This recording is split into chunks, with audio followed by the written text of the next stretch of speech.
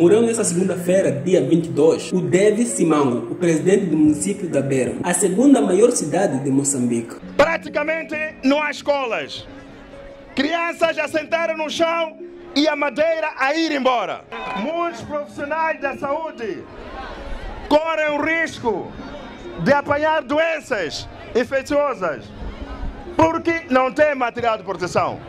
Por isso o MDM vai introduzir seguro de vida a todo o pessoal que trabalha na saúde. Davis Imbepo Simango, nascido a 7 de fevereiro de 1964 na Tanzânia, dirigia a Beira desde 2003. Simango, de 57 anos de idade, era também o presidente do Movimento Democrático de Moçambique, MDM, partido com representação parlamentar. O Movimento Democrático de Moçambique manteve-se em silêncio sobre a notícia de que o seu presidente Davis Simango foi evacuado no sábado, no dia 13 de fevereiro, à noite para o Hospital de África do Sul, devido a um súbito problemas de saúde. O político morreu no Hospital Privado de África do Sul, onde fora transferido com urgência. Diz assim à imprensa o seu irmão Lutero Simango, o chefe da bancada do MDM na Assembleia da República. E também o Lutero preferiu não dar à imprensa a causa da morte do seu irmão. David Simango era um engenheiro de construção civil, formado pela Universidade Eduardo Mondlane. Era um candidato natural à sua sucessão nas eleições autárquicas agendadas para novembro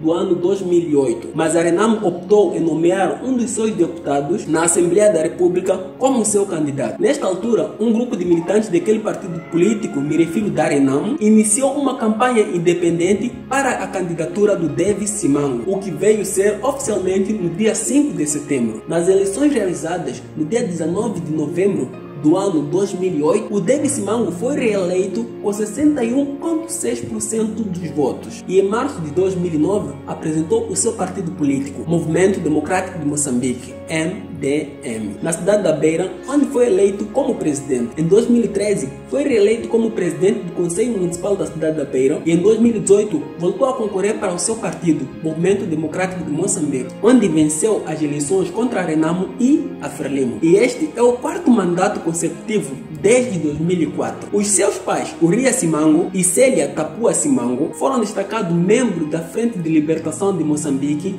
Perlemo, que dirigiu a luta pela independência nacional. O Urias Simango, o pai de David Simango, chegou a ocupar o cargo de vice-presidente na Frelimo, mas ambos foram extrajudicialmente executados pelo primeiro governo do país que ajudou na libertação. A Beira, se for a notar hoje, está adaptada a mudanças climáticas no campo das inundações. Construímos as nossas valas, construímos a bacia de retenção, construímos as, uh, o sistema de escoamento das águas para o mar, criamos várias comportas com sistema automatizado que através de um telemóvel pode-se gerir isso.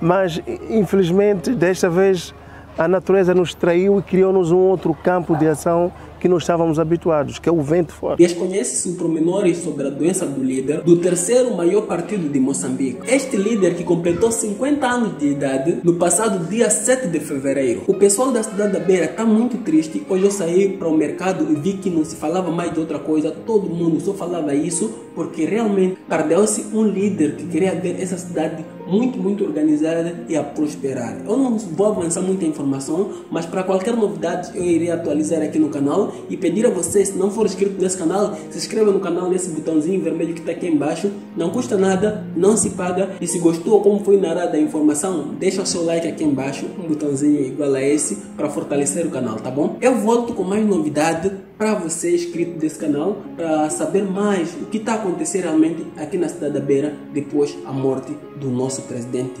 Davis Mbepo Simango, tá bom? Tchau, tchau, até o próximo vídeo.